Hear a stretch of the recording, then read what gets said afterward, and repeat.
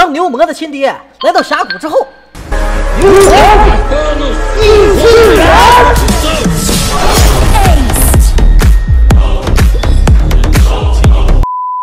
没血了。幸好我有从老焦头那里买来的血条。嘿，这血条一看就卫生里满满。搞错了，再来。刚刚一定是出 bug。绝不看大叔，残血小鲁班还不速速送死！这他妈家伙呀！老焦头，你这什么破血条啊？鲁班一枪都扛不住，赶紧给老子退钱！老老焦头呢？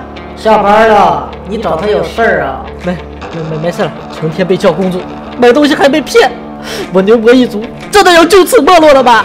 老娃子，嗯，谁在说话？你谁呀？我，我是被人欺负了，爹给你找场子去。五分钟后，老板，你快看，这有个大红牛跑出来了。打红牛有什么一袭的？打牛就多过瘾啊！嗯，牛子。彻底疯狂！龙卷风摧毁停车场！嘿嘿，来了！小雨，你别啊！怎么了吗？没什么。这什么玩意儿？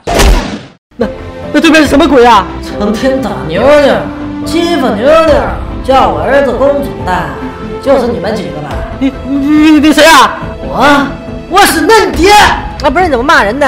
你管我？有我！怎么办？怎么办？那货好像在变什么大招啊！先清兵线，这货看着不像一般人。等会儿七哥和扁鹊就来了。蛋仔，这什么情况？齐哥，墙外面的东西不好对付。没事，有战神白起在，一块打起来。项羽和我在前面顶伤害，蛋仔在后方输出，神医负责保证我们的血量，再加上我们的疯狗阿伟在侧翼输出，就算他是大罗神仙，咱们哥几个也能动上一斗。